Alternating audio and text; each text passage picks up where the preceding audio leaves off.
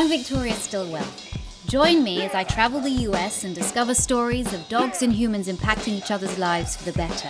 This is American Dog. Yeah, yeah, lyrically it's dirty, you know, so gully. All you see is bullies, microphones, and. Baseball the epitome. Principals and parents wanna get rid of me. Running over tax on tracks, cause I'm that vicious. Stitches on just like black bitches. Bag riches and dough like sandwiches. Like priests to bad. Surprise disguised in my vices. Five slices, realize your life's priceless. The demise of lies supplies blindness until you can't cry your eyes are now dryness. Keeping an eye out for strays is Dan Carlisle, a local rap artist who goes by the name of Hush.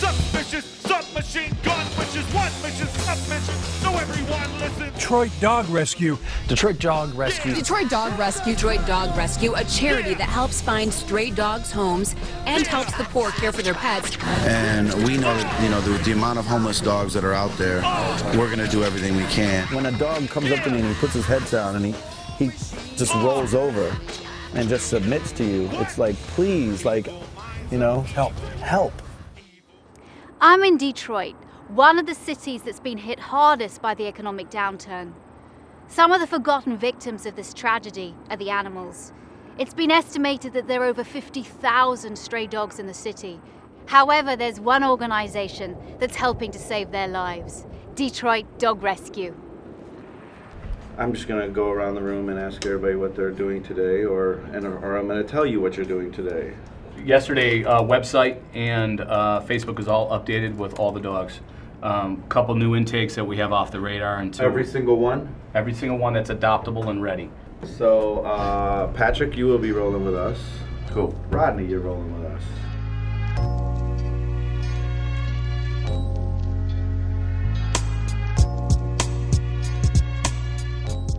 How many homes do they reckon have been vacated Seventy thousand. in the city? Mm-hmm. 70,000 homes in the city. And a hundred and fifteen or so schools abandoned. That's the water department. Now, what's funny is I'm gonna stop at this house. Nine times out of ten, I, I, I will guarantee this house is. They were just there. We just passed them. I will bet, dollars to donuts. This house right here, there's still water running in the basement. okay. I will guarantee it. Unless they've shut that water off, which I highly doubt. Okay?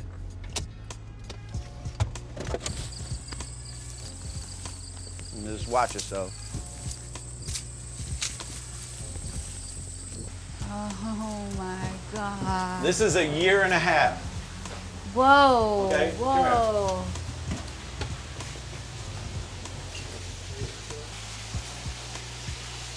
Okay? So the dogs on the next block that we're gonna go to, you know, this is a house they come to. They just jumped into this and get some free water. Now, if you were over there, you could literally put a cup into that water and drink it. It's that it's that fresh. But, and the water board hasn't switched it off. No, and not only that, but this is taxpayer dollars. So the dogs come down here and, and they, they, get drink their from fresh this. water. Yep. And this is this is homes all across Detroit. You know. So when a house is abandoned, then people from the neighborhood just come and strip everything out of it Yeah. For the copper, for the and then they go sell it. The copper, the metal, whatever they can scrap and make some money, they do. They just Oh break. my, they ripped that bathroom. They there is there is nothing left in here. There is No, uh-uh. nothing.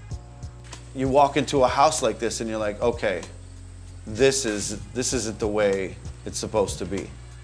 There's no reason for the person who lives in that house right there to look across the street and see this.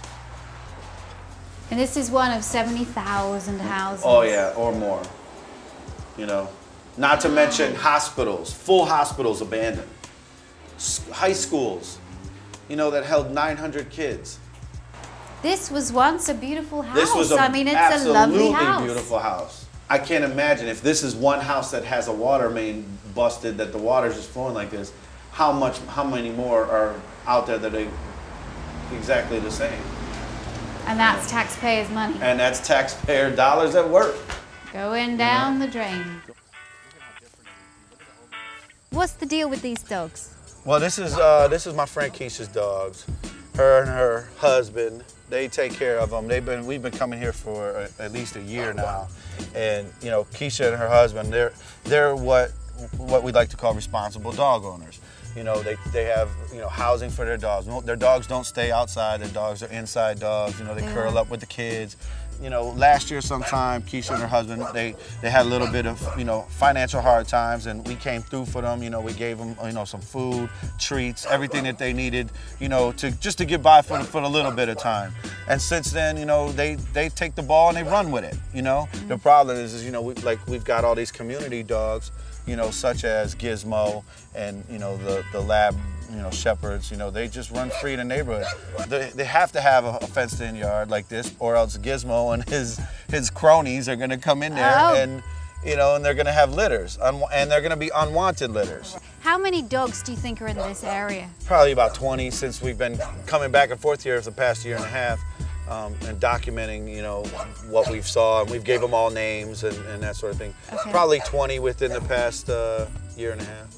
And I you, you so. see it all the time. What about your kids though playing in the neighborhood? My kids don't play in the neighborhood because of the stray dogs. They do try to attack my children. It's hard for them to even ride their bikes to a certain extent. So we try to stay right here and a little further, or I put my dogs on this side of the fence so they won't come any further. Because once they bark, then they know not to come past my house. You know what? Weirdly enough, I have to say, this is actually quite a nice environment for, for dogs. Oh, yeah.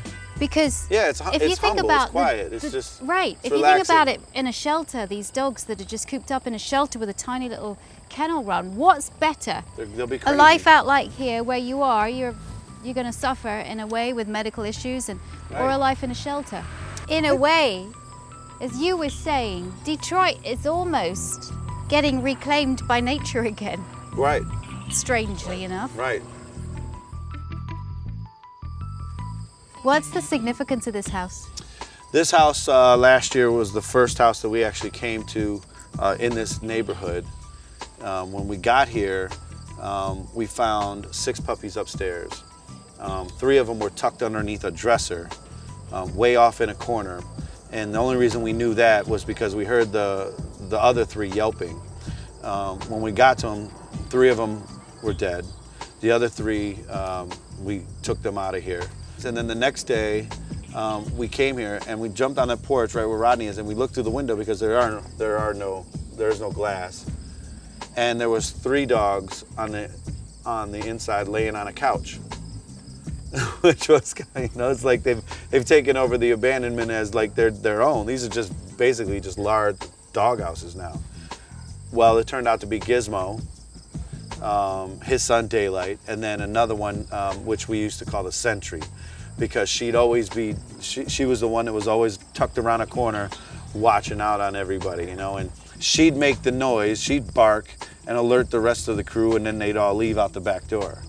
When you talk about reclaiming Detroit, you know the animals, uh, you know, are definitely reclaiming the city by taking these houses over. Like if humans don't want them, then The animals are going to have them, aren't they? they're ours for the keeping. Okay, so here's the here's a call that I just got. Uh, Hi, this is the lady off Maryland and Otter Drive where the dogs are. Um, I was wondering, can you come and get the dog? Cause she's pregnant again, and she looked like she's gonna have puppies, and you know she's really terrorizing the male people and the little kids that's going to school. now this this dog had already had a litter. We got the litter from the mother, but we could never catch the mother. Okay, she was gone and and whatever. But this lady and her her I, I think it's her mother or her a member of her family, they keep feeding this dog. Okay, so they feed the dog, and the dog comes out on the porch. The dog is great with them, but nobody else. And obviously, the, the dog was terrorizing the neighborhood because she was pregnant. But no, Now and, the and dog now is now the dog's pregnant. pregnant again because she's out roaming the streets. So she's gonna have another litter. So that's two you know, and within six months. And what happens is the, the neighbors will find out where those puppies are. They'll take the puppies and then they'll sell them. Oh, there he is. There's one right there. See him by the boat? Oh yeah, yeah, yeah, yeah. That's the nasty one. Now there's there's no point in rescuing that dog. No. That dog ain't is not gonna This get is the this is one of the community dogs. This whole block, you know, feeds them and takes care of them, and you know, and here, Giz. Hi, Giz. This is Gizmo. Hey, Gizmo. Has Gizmo been neutered and released or no? No, No. not yet. Giz is old. Giz was left by his owner. Would you take a dog like that in or not? This is this is I would one take of these him dogs. in, but put him in a sanctuary. Yeah. I can't. Uh, uh, Gizmo's an outdoor dog. He refuses to come inside. He refuses to, you know, hang out. For me, I spend most of my time going to people's homes dealing with their problem dog behaviors. Very rarely am I involved in just coming out and just hanging out with stray dogs on the street. But here they are. Here it is in the center of Detroit. Oh, that's my. She's oh. the one that you don't want to mess with, Oh, yeah, she's pregnant. That's it. for sure. She she is pregnant. Look at that. So there's gonna be another, Another nine litter. Puppies, another litter that Like you can't take this dog in, Uh-uh. and you know she won't be rehabilitated to be a domestic, you know, for a, to be a dom- on a domestic level. Now you see where she went yeah. underneath that porch. That's where she's gonna have these puppies. Now the guy that lives here, he doesn't like us coming around. But I told him, I'm sorry, homie, but you ain't got a choice. You know, you don't own the city. Look where she's at right now, underneath his porch, where she's probably gonna give birth to them puppies any day. You know, and then what do you think is gonna happen to those puppies? They'll get hustled out. You know, they'll get sold out. You know, 50 bucks a piece, 20 dollars, whatever. Is she part of the group here? She's a part of the group now. She became a part of the group about, I'd say, seven months ago. Um, th- these dogs, the Gizmo personally has been around here for four years, four to seven years. Seven months ago, she showed up um, with her baby, the puppy, the, the black one that's over there. Um, they packed up with Gizmo because the community was feeding them food. There is already a generation of dogs in Detroit that are feral, who don't want to be around humans. There's more value in leaving these dogs on the streets versus trying to rescue and adopt these animals. Sanctuaries won't take them, they don't want to be around humans, so as long as they have food, shelter, and medical attention, as well as being spayed, neutered, and re released, then all things considered, life on the streets is better than a crate, a small kennel run, or being put down. You know what? What I've seen today is that most people around here own pits or pit mixes of some type. It's a fashion. You know, it's like a new pair of shoes. These kids will get these dogs from people, you know, 50, 60 dollars and whatnot. Um, and then three months later, they just kick that dog out because they they finally realize like, oh shit, like I had this is like having a child. You know, I'm not ready for a kid. You know,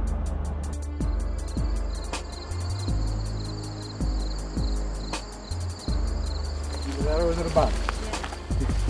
That's a dog. It is a dog. It is I don't know if it's a it dog. has been eaten from the. Yeah, it's a Yeah, male. it's a dog. It's a male. Oh yeah, there's a collar still on it. So the teeth are, are really good I was gonna for say, be a uh, long uh, do- young dog. His teeth, he's probably only about two years old. Yeah. He's on a chain. This dog died. Look. Yeah. This is where the chain is. Yep. This dog died here. Still on his chain. The chain is going to his collar around his neck, and this is the chain that chained him. He Yep. died on the end of his freaking chain. It's not cool. You know, no dog should have to be dumped here and left like this. You know. He had to have came through here at some point, and he just couldn't drag this anymore. That is I mean, heavy. This is this is this is this is this is something that you'd use on a boat. You know, You could, I mean, you could use it to pull a car, you know? It's not fair. Not fair. This isn't, this isn't right. This isn't no, this, this is what I'm dealing with. You know? I'm trying to end this. Well, on a daily basis, Detroit Dog Rescue gets phone calls from citizens saying, you know, we have a dog or there's a dog that's been roaming the streets. We picked it up. Um, we can't take care of it, but we also don't want it to be euthanized. Can you come get it? Apparently, the dog was dropped off from a friend who said that they couldn't take care of it because they had another dog that they were afraid they, the two dogs wouldn't get together. Hello, how are you? I'm with Detroit Dog Rescue. Okay, I'll be right back up. Thank you very much. Hi. Hey. Hey, How are baby. That ain't no puppy. Hi. What happened to him? Hi, I don't know. My friend dropped He's him off at a my bunch house. of burn marks on him and his oh, ears. Hi. And I was like, Hi. There's a pig girl. Hi, puppy. Them ain't burn marks. That's mange. That is mange. That's mange. Yeah. It's a skin infection. Right. Yeah, he's got fly bites on his ears. yeah, you can see. It's all right. Okay. Oh, you're a big baby. Yeah. You guys got a leash, a collar, or anything like that? No. No, no, no tags, no nothing, huh? Duke's a submissive peer, so. Yeah, watch him because he's, he's a peer, so. It could be. I don't It's- think it's ringworm, no. I think it's Dermadex. Yeah, Dermadex mange. All right, thanks for calling. You know, dog like that, beautiful dog, beautiful, Beautiful. color. Obviously, he's very submissive, you know, and he he, he likes people. So when we get a dog like that, and you see how he acted acted with us, Yeah. tail wagging, ears back, Oh, yeah. it's very submissive, pees right there in the spot, you know, loves to you know be rubbed and touched. Our temperament test is halfway done. Yeah, exactly. Thanks. Good boy. This is what a true pit bull is like. This is it, you're looking at it. This is the demonized breed. Look at this. Perfect. Oh, that There is. Look at you. With a new collar. Right. There he is. Look at that, Look baby. at him, fresh man. Yay.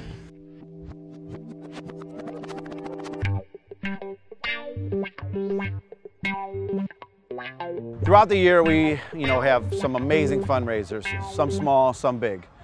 This year, this is our biggest fundraiser, uh, you know, of the year, and it's not necessarily a fundraiser of sorts. We the event is called um, 100 Roofs for Woofs.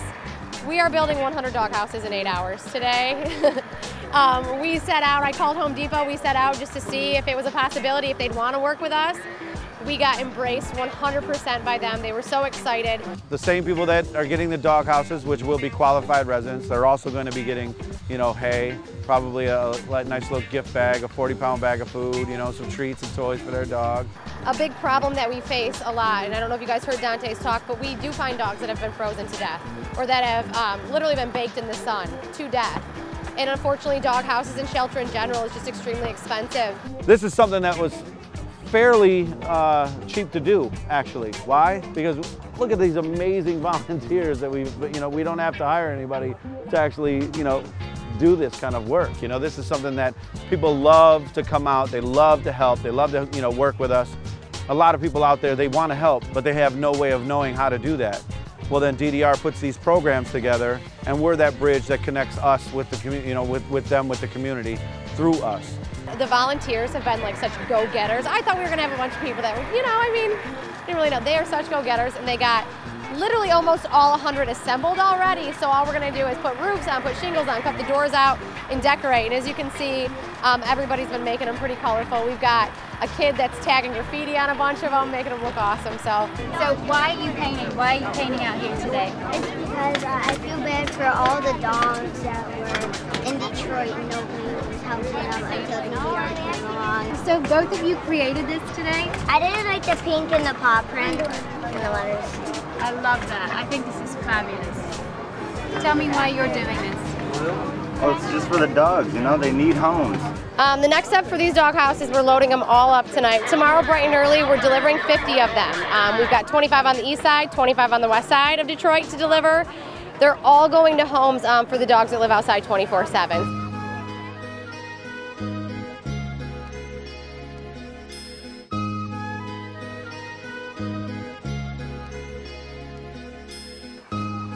Well, cool, Mr. Jones. All right, man. You know what's up. Yes, I appreciate it too, man. You know, no doubt. I ain't had no love like this in quite a while. Nothing wrong with a little love, right? Yeah, because, ooh, man, I love them jokers. But, uh, I wouldn't take nothing from them. I treat them just like kids. Yeah, man. And whatever it takes, man. You know, I went through a lot now with my neighbors when I first came here. But all the kids took a liking. I had to make them go home sometime, you know, because if when the kids playing with them, you can make a dog bite you. But Oh you- yeah, they play hard. Yeah, you Kids pull his crazy. tail. Yeah, you pull his tail, smack him a couple yeah, times. see, you got to be a supervisor when, when they are kids are playing with them. Right. And then when you get tired of them, you hate to run them home. Yeah. just like you one of your kids. That's man. right. Once you get used to it. Never had a leash. Because I tried that on them. Um, I can't fix her in here. Picture with Mr. Jones? Yeah, man. This is one day I never will forget. What I'm most proud of working with DDR, the fact that whatever I do from point A to point B for the rest of my life, whatever happens after this point, I feel that I'm making a difference, not only for dogs, which I have a love for, but I'm making a difference for people. And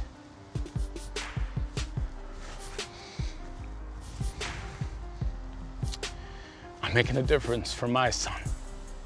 To show him that it's not the money in your pocket. It's not things you may think are valuable to you that makes you who you are. It's what you do, it's what you give. Because you're born into this world naked and crying and screaming in a little ball, and you're gonna die going out in sort of the same fashion. And the only way your legacy is gonna live in this world is if you do and give. And doing and giving for not only animals, but for people is what I get out of Detroit Dog Rescue. Detroit is damaged, but it's a city that's been founded on hard work, passion, and dedication. The citizens of Detroit continue to fight for change, and Detroit Dog Rescue is a perfect example. I'm Victoria Stilwell for American Dog.